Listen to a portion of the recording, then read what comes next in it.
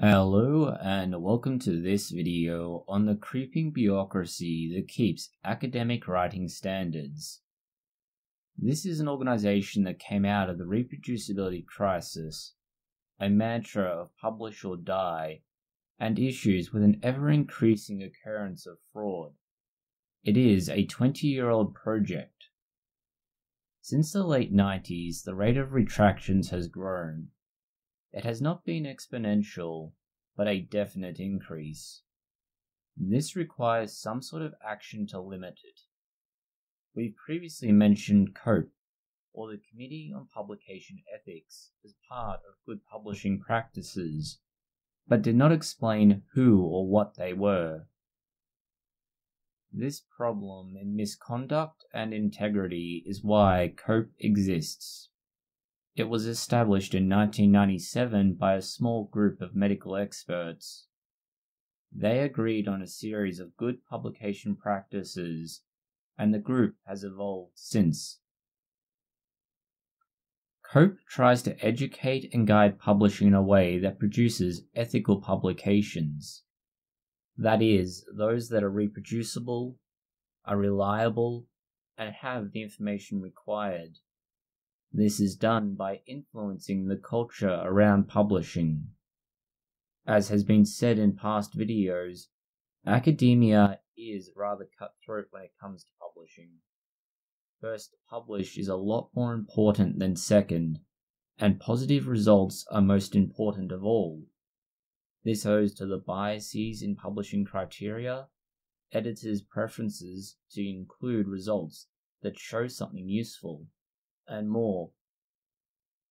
This often leads to errors in judgment and false reporting, both by lead researchers and by overzealous authors who might embellish what they are claiming.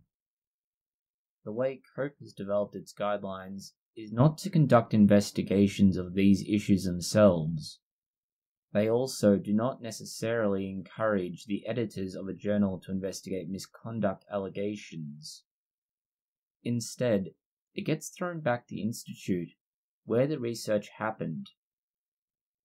This would seem a lot like passing responsibilities onto the Institute rather than dealing with it themselves. However, COPE is not doing that. They do not just set this high standard, but provide tools for those interested, unlike other social movements this covers all of the important topics like misconduct, authorship, conflicts of interest, and the issuing of corrections. This could be a simple manual or a flowchart to suit different situations and access requirements. It means institutes know not only what they are looking for, but what they're expecting to be putting into these journals in the first place. It ensures that there is an understanding between publication outlets and where research is done on what both has to be submitted with the article itself and what should be available if there are questions raised. That in and of itself isn't enough to change the whole environment around publishing. There are also regular forums held where difficult cases can be aired and discussed. This allows for tool and skill building. It ensures editors know how to handle cases that they may not be familiar with, how to address problems, and how to better deal with the human and scientific elements of publishing. Not all authors are willing to accept that their work may be flawed, and not all research can be handled in the same way. Balancing the soft and hard skills is a delicate task and requires a deft hand that you may not begin as an editor with.